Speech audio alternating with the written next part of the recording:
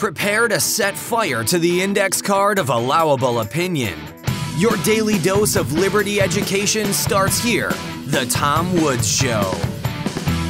Hey, everybody, Tom Woods here, episode 2478 of The Tom Woods Show. Who knows what I'm trying to prove at this point, but delighted to be joined for the first time ever by the great Alex Stein of Prime Time with Alex Stein on The Blaze, where you can also find our, our dear friend Eric July and other fine people, Matt Kibbe, but Alex Stein is the man of the hour today. Uh, Alex, welcome to the show. It's a pleasure, Tom. Thank you for having me. I really appreciate it. All right, look, you and I have completely different styles. I mean, maybe we have a lot of the same views, but we have completely different styles. If, but although I love the fact that you're actually better dressed than I am on this, so kind of undermines me. I'm a pimp on a blimp, Tom. What are you talking about? When I go on these shows, I have to dress nice. But see, that's the thing is when when you're me, because I'm really very edgy, very wild, very impromptu. I have to put on the suit and tie because it, it's what keeps you from getting arrested. You can, if you put on a suit and tie, you can basically do anything. I mean, I, literally, it's incredible the the respect you get just by being well dressed. No, seriously, you. I walk into a McDonald's, they treat me nice. I walk in anywhere in a freaking tie, and you get this respect. And I think the cops do too, especially when I go to these city council meetings because I'm not dressed you know, in like full head to toe Palestinian gear, they're probably not going to arrest me. They think I'm an attorney or something like that. Yeah, so that's, like the, that's, the, see the drawback to this is that let's say you're walking around dressed like this in J.C. Penney, everybody assumes you work there.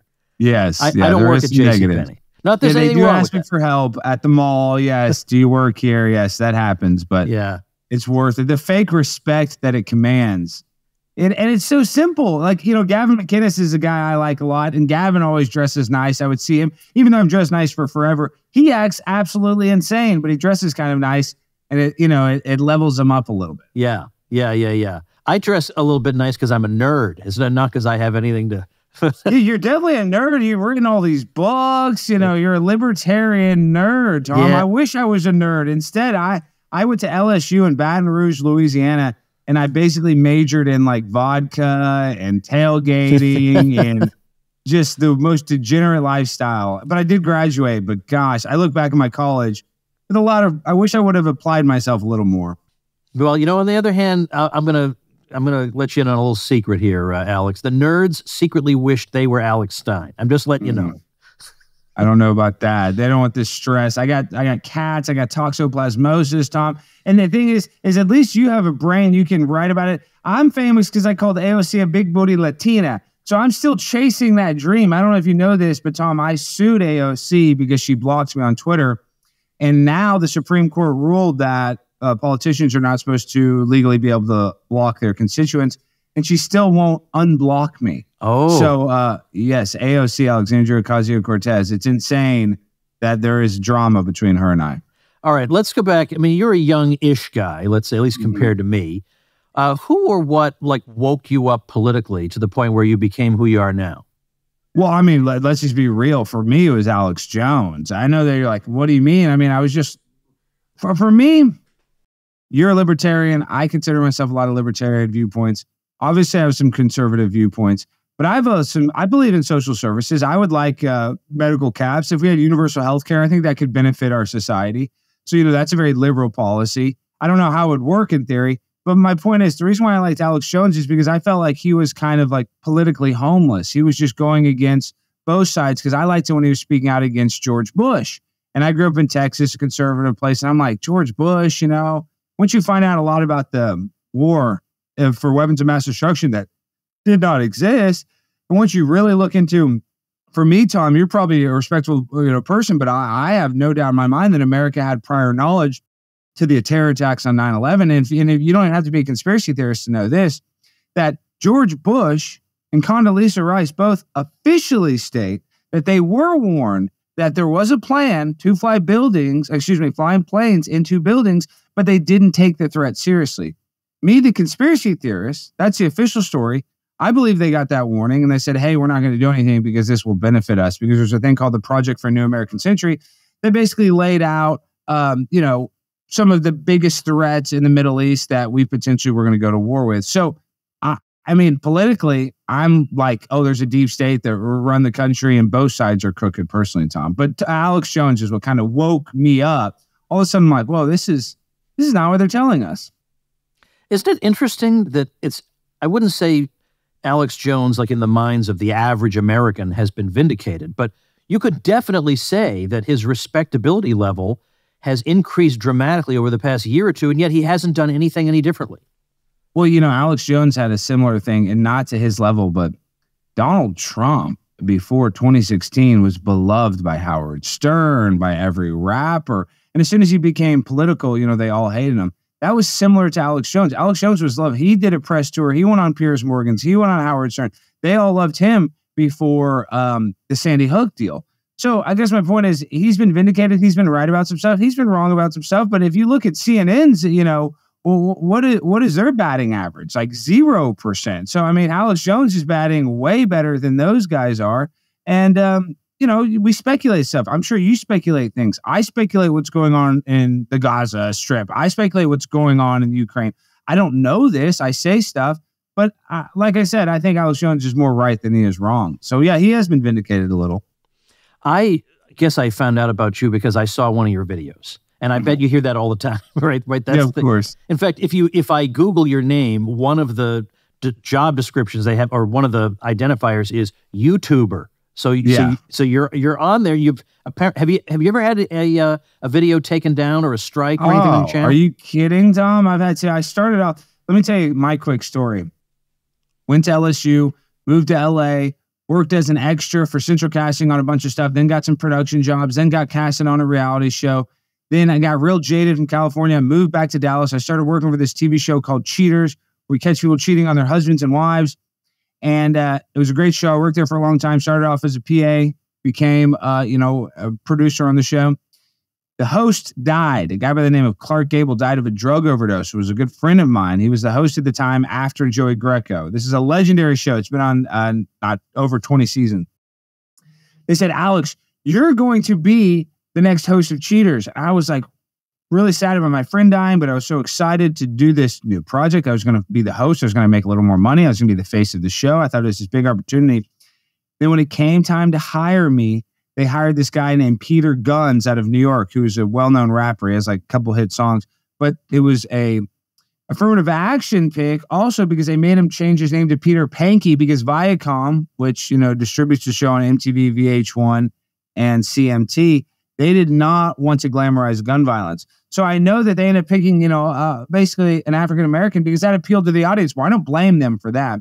But at the time, I was heartbroken, and I just started. I decided to start my own podcast. And when I started my own podcast, I was like, "What the hell am I going to talk about, Tom?" Like, I'm sure you felt the same way. Everybody thinks, "Oh, I can start a podcast. I can click record." Well, obviously, I told you I like Alex Jones. I always like conspiracy. So I should, my first podcast right when the pandemic was starting was called the Conspiracy Castle. So the whole time, and it was rare, it was pretty successful starting out because everybody was looking into conspiracy stuff. But that was a lot of trials and tribulations, constantly getting medical misinformation strikes, constantly doing this. And that podcast is what encouraged me to start speaking at public city council meetings and you know yelling at politicians.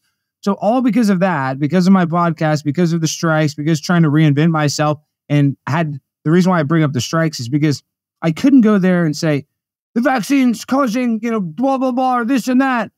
I had to go there because of terms of service and lampoon it and say, I love the vaccine. Dr. Fauci, give me that ouchie. A perfect example was on YouTube, they said that it was okay to call for violence against Russia.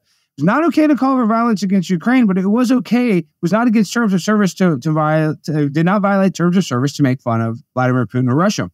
So I went to a city council meeting in Plano, Texas. I said, go insane for the Ukraine, put a bullet in Putin's brain. And it went like quadruple viral. So because of the censorship, I've had to be creative. And that's been some of my most successful stuff because of it. Are you in, in terms of making these videos, are you just a one man show? Or like is do you have a team of people or are you just coming up with these ideas and executing them? Well, I started off one one man only. I mean, that's how everybody starts off, right? You know, you had to film it, edit it. And I had like a little editing background, but I, I wasn't, I'm not a great editor, but I could do it. So I'd shoot it, film it, come up with the ideas myself. Uh, but now I work at the Blaze and I have a guy named Jimmy and Brandon, producers of my show, that they help me. But still, I mean, I'm not trying to like take all the credit. But yes, most of what I do is by myself because when you go to these meetings, you go to these protests, it's hard to bring a big crew. So a lot of what I do, I almost have to be like Yeah. solo because it makes it easier to do what I do. So uh, give people example like examples of let's say your favorite because if I look at I'm sorry, but I mean my Wikipedia is completely stupid and, and highlights yeah, all my the wrong Wikipedia things. is written by crazy people that hate my guts. Yeah, but me it's no- too. it's- yeah, it's Me weird. too. You, you would read mine and say, I just sounds like nothing like the guy I actually know. So I always recommend people just read the bio at tomwoods.com. That's where you'll Yeah. actually learn about me. But I but I but there is some some funny stuff here. So I I, I do want to say. So D magazine described Stein's city council pranks as quote, mostly harmless, if at times in poor taste, unquote, and said that publicity from the videos had gained Stein access to, this is my favorite part, quote, larger right wing platforms where he can spread misinformation, transphobia, and conspiracy theories, unquote. So I want to get to that in a minute.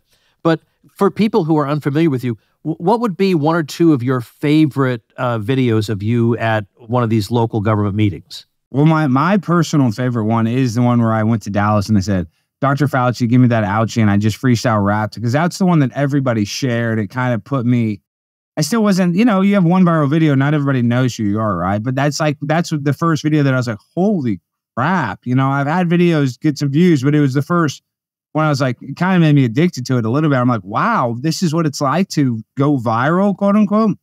And then uh, that one was my favorite. And then my favorite video, if, if it's not city council, has to be when I called AOC a big booty Latina because it was very harmless. She came up to me, she gave me a peace sign. She was not mad.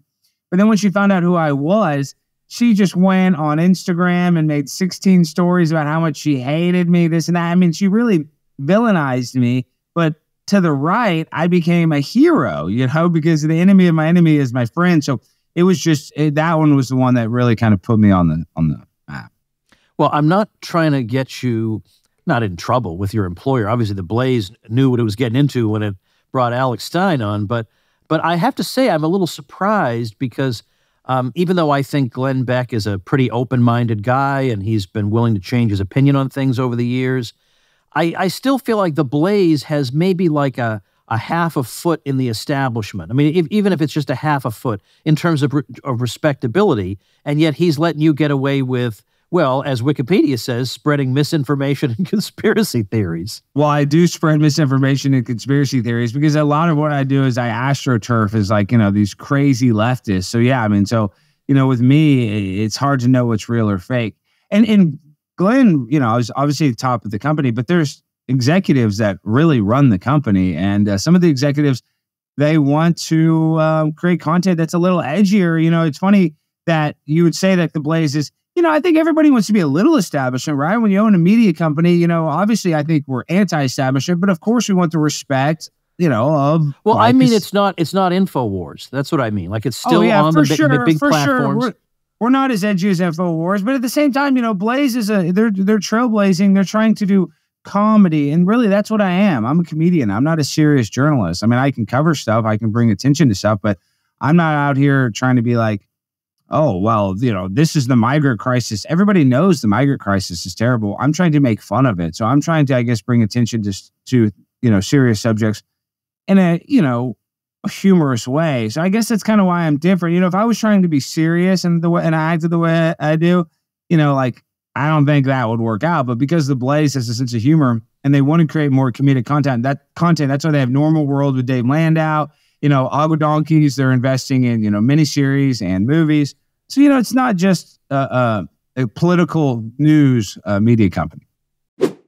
Hey, everybody, let's take a minute to thank our sponsor, Persist SEO. If you are getting buried by your competition online, then build your brand, your reputation, and your lead flow with digital marketing by Persist SEO.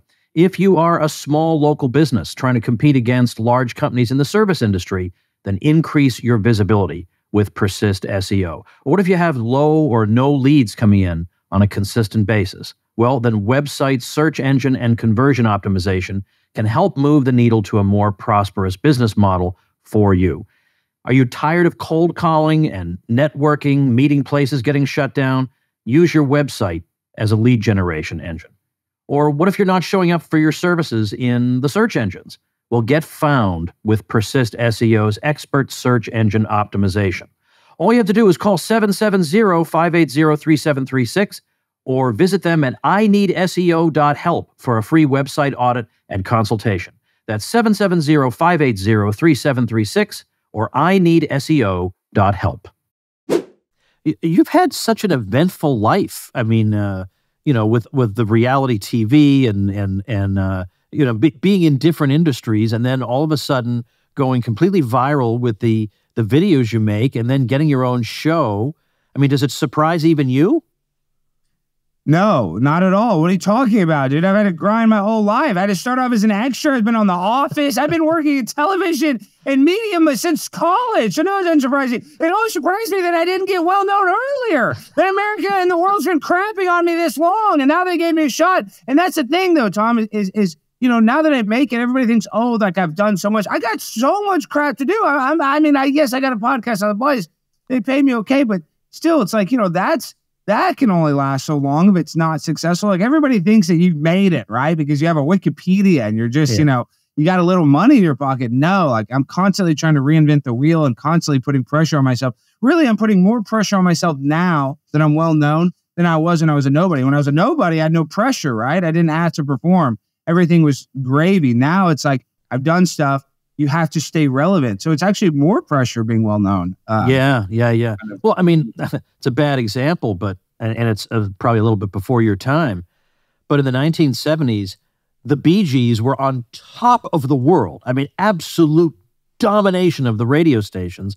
And then the public just turned on them, just yeah. like that, burning their records at I don't know if it was Shea Stadium or whatever. I mean, they had these anti-disco nights, and and and the the Bee Gees were like oh, overnight they just Barry Gibb had to res- resort to writing songs for other people. He didn't know what what to do.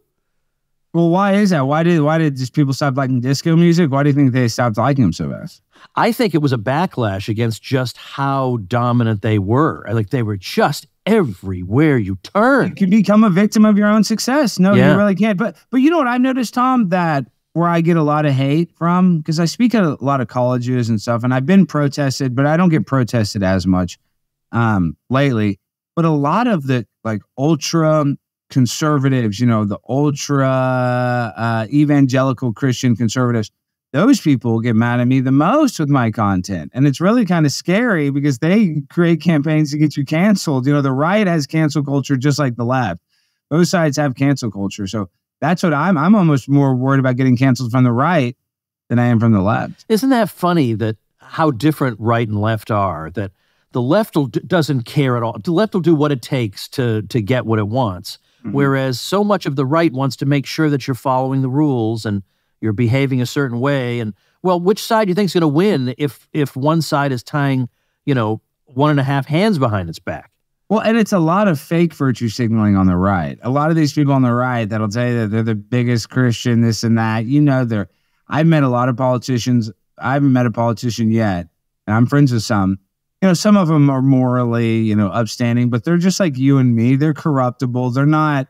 I guess my point is a lot of people put on this facade, and for very few people, I think they're actually uh, talking the talk and walking the walk. A lot of people are talking the talk, but not everybody's walking the walk. In my personal experience, what I've noticed. Yeah, uh, well, there's there's a lot of that, and I would say in this trad movement on the right, um, you know, I think some of them are not being sincere, but we'll just just leave. Of course not. Of course not, and that's fine, I guess. I mean, but that that's why I like to. I guess the best content that I, or the most successful content is when you call out hypocrisy. So I guess there's hypocrisy on both sides, is, is what I try to call out. Because you know, I've gotten in arguments with Dan Crenshaw, Eyepatch McCain. I, that guy and I d- despise each other. I mean, I'm anti-war. I hate what's going on in the Middle East. I hate what's going on in the Ukraine.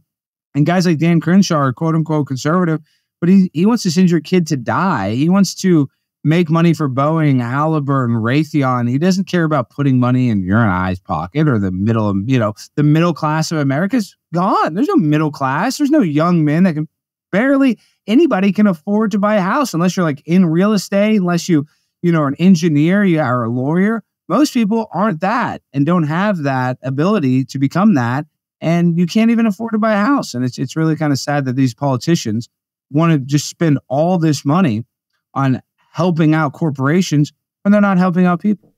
Well, who are a handful of people in public life who you would say are on the up and up and they aren't involved in anything nefarious and they genuinely are trying to do their best?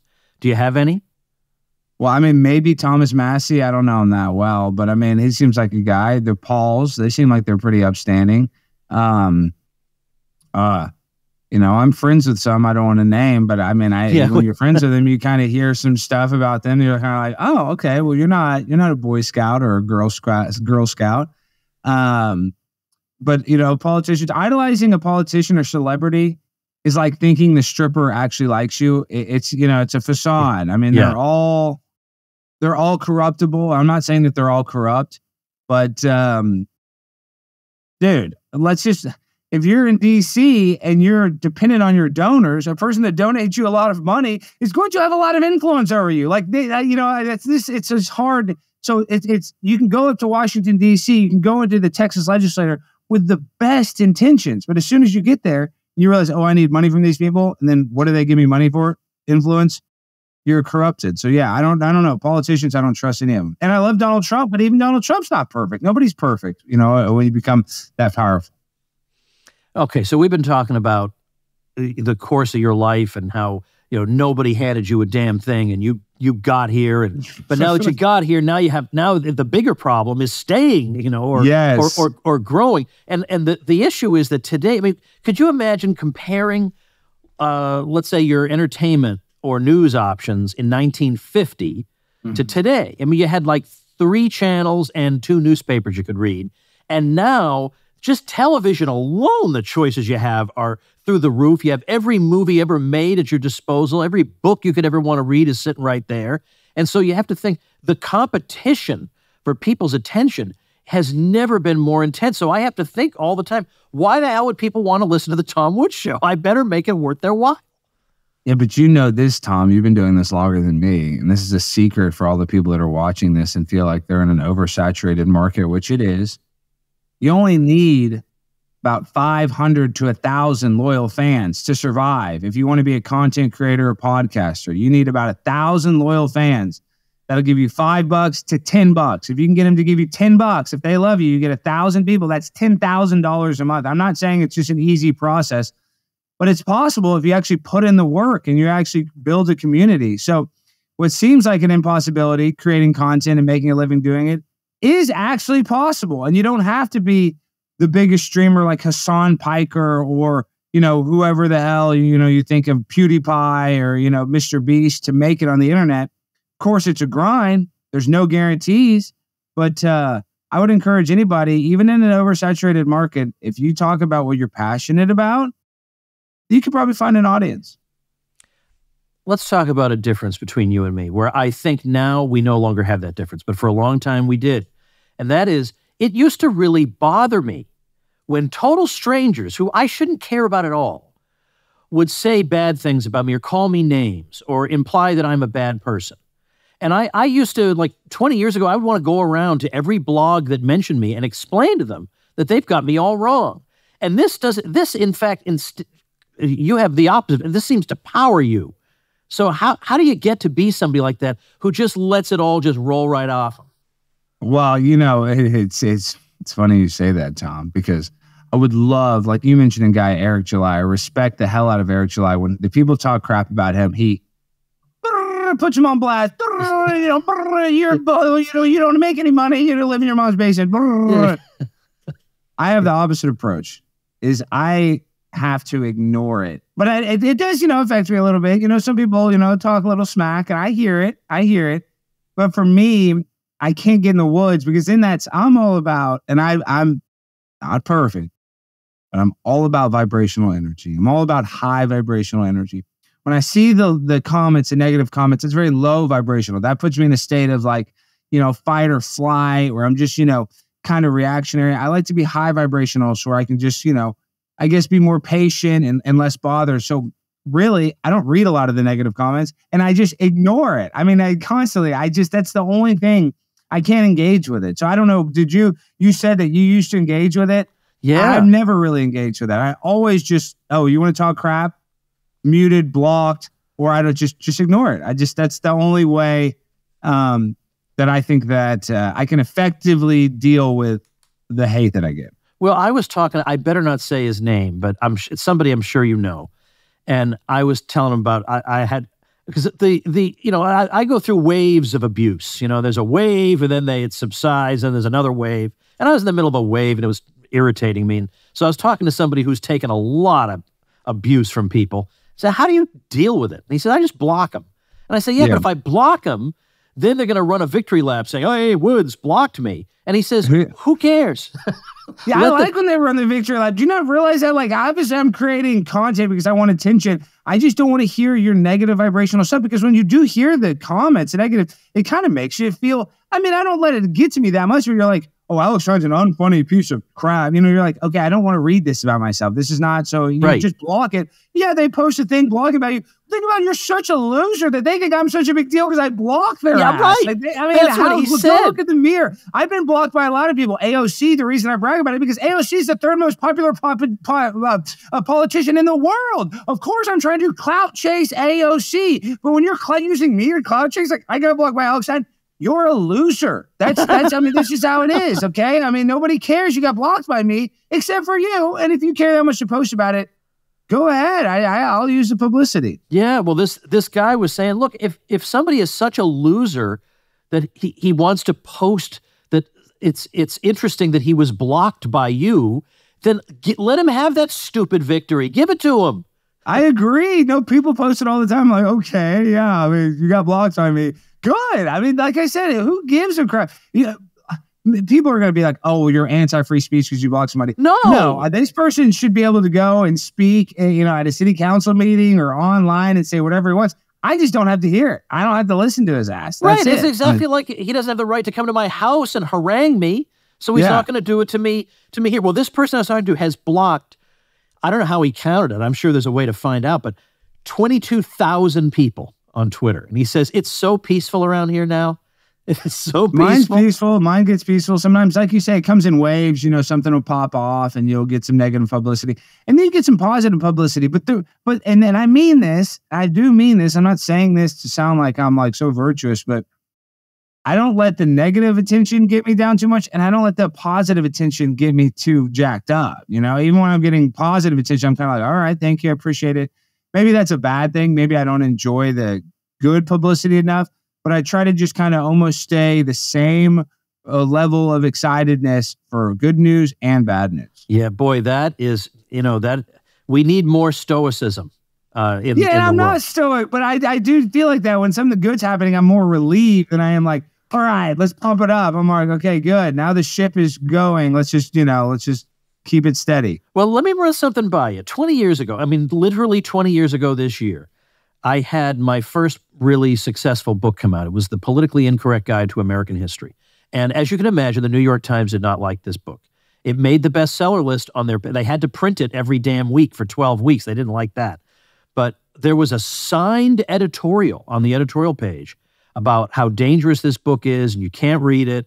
And then the Boston Globe did the same thing, or they had an op ed uh, what would they say was the worst part of it? Like when they described it, well, how would they describe it? Oh, I mean, well, they would say, well, generally what they would say is he says X, Y, and Z, but they never try to disprove anything I said. It was just enough for people to know that I had said it. I mean, would they use Nazi or I mean, politically incorrect? Well, they like, didn't. You know, thankfully, they did. They we hadn't quite gotten to that level yet, but it was a member. It was somebody from the Southern Poverty Law Center who wrote the signed piece.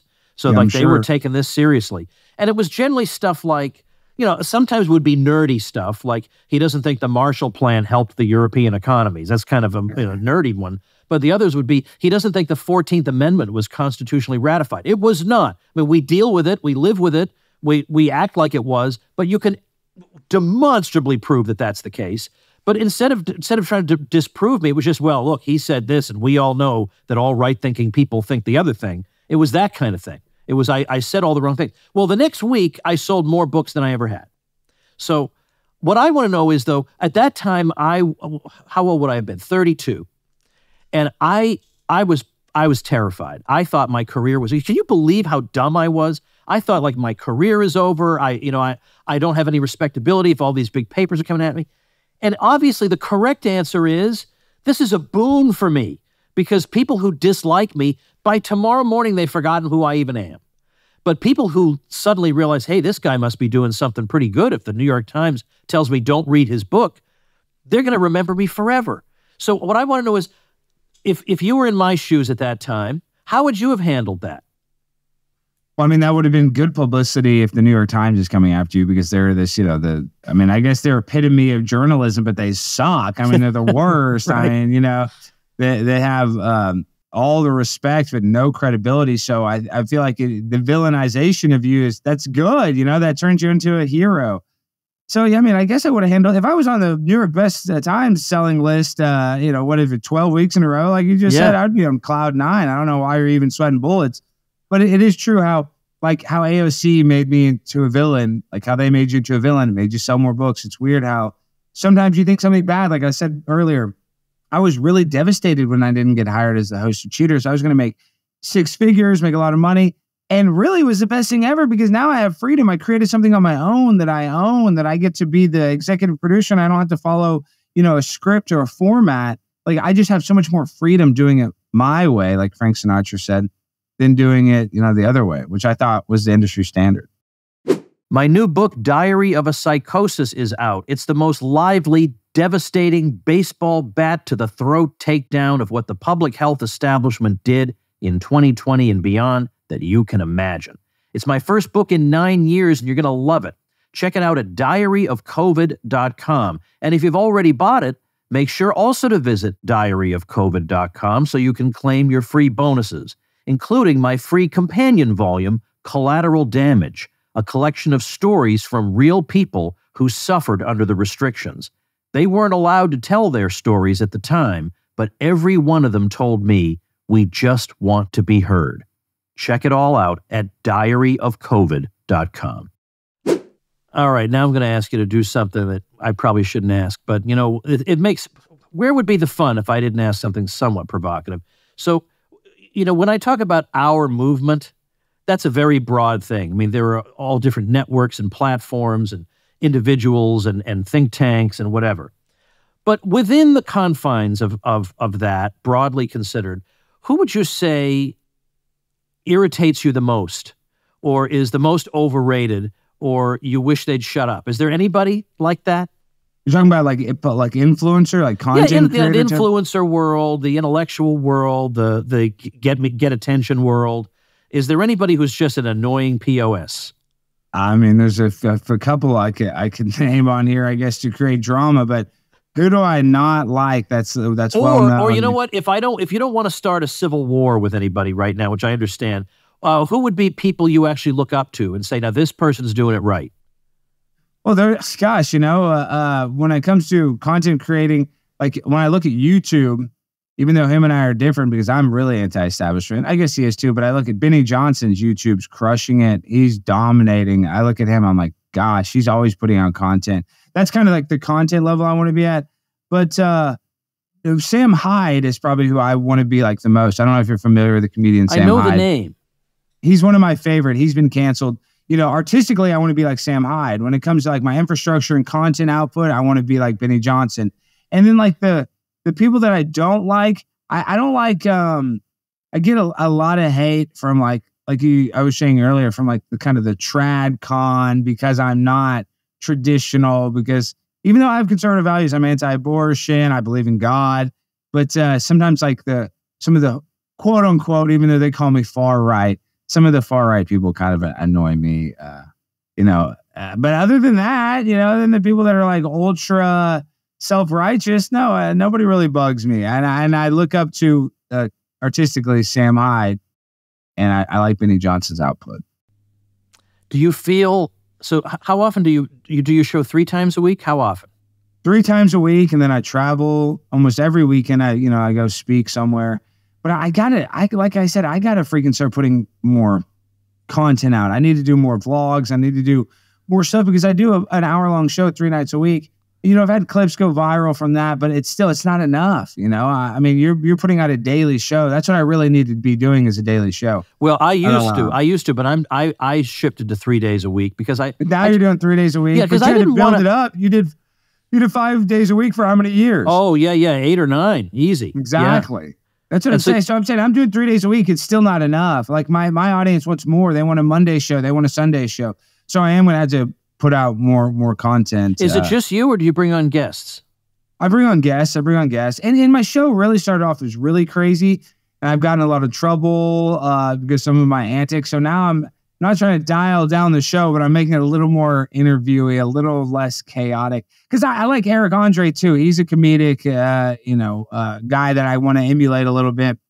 And I realized when you do an hour long show, like I've, I got in trouble from Patriot Takes. Some people on the right, they got mad at me the other day because I had Laura Trump on and my producer has a baby. So he gave his baby to Laura Trump and asked for an autograph. And in I we cut the camera frame and I grabbed a fake baby and I punted it as a joke, like I was if I was punting his baby. And they got so mad at me because like, oh, this guy's doing a baby abuse show. They called it a baby abuse show. It was a joke. And it was a WWE bit. And uh, what's funny is obviously, you know, it, it was a joke and and Laura Trump didn't even care. She was so nice. But the next day, we I, I issued a fake apology, and for the we do a caption contest. For the caption contest, we showed the baby, and the baby when I kicked it, the head was dented in, and they do a caption contest, so the audience gets to pick a caption. They picked. This is Dan Crenshaw's baby, and like one of the eyes messed up. Oh, so no. Patriot takes shirt the next day. They're like, now Alex is making fun of uh, Dan Crenshaw's baby, uh, newborn daughter, and so it's just funny how uh, but that kind of helps you in a weird way too. So it's uh, I, I'm creating content. Sometimes it's annoying when you go viral for the wrong thing. Well, do, do you have a website, or is it just promote the show? Just go to Pr- Prime Time with Alex Stein or follow me on Twitter, Alex Stein99. I mean, I'm all over the internet. If you can't find me, I'm on Instagram. I even have a TikTok. I don't really post on there. They're constantly kicking me off. But go watch my YouTube show. Obviously, watch it on the Blaze as well. Go to blazetv.com slash prime time if you want to join. But um, I, uh, my YouTube is what I'm trying to build up because we're a year in one month done with my show. It's been 13 months. So I got it just, you know how it is after a year. Now we're starting to gain. But I think, and I've done my Conspiracy Council podcast, it really didn't, even though I had some good episodes because I had some big guests, it really didn't start taking off until two years. It took two full years. And so that's kind of what I'm like. I'm like, you know, after this two year mark, we really better start hitting our stride. So got about seven, eight, and nine months before we're really on fire, I think. What's the deal with the 99? That was my high school football number. I'm a pimp on a blimp, Highland Park High School football captain. 2005, I played with Super Bowl champion Matthew Stafford, the quarterback of the Los Angeles Rams. So uh, in Texas, high school football is a big deal, and I um, am a high school hero still living. No, I, I kind of am a high school hero a little bit, living in my glory days. But 99, they always called me 99 Alex Stein, the Stein Man, 99 Man. So I just kind of always kept it. That's pretty good. I mean, it's it works. It rolls right off the tongue. tongue. So, Yeah. All right. So check it out, guys. Prime time with Alex Stein. I'll, I'll have uh, uh, Alex's Twitter and all the links that you want in the video description and on the show notes page, which would be tomwoods.com slash 2478. And Alex, thanks so much. Tom, thank you. Always a pleasure. Thank you, ladies and gentlemen. Become a smarter libertarian in just 30 minutes a day. Visit tomwoods.com to subscribe to the show for free, and we'll see you next time. Like the sound of The Tom Woods Show? My audio production is provided by Podsworth Media. Check them out at podsworth.com.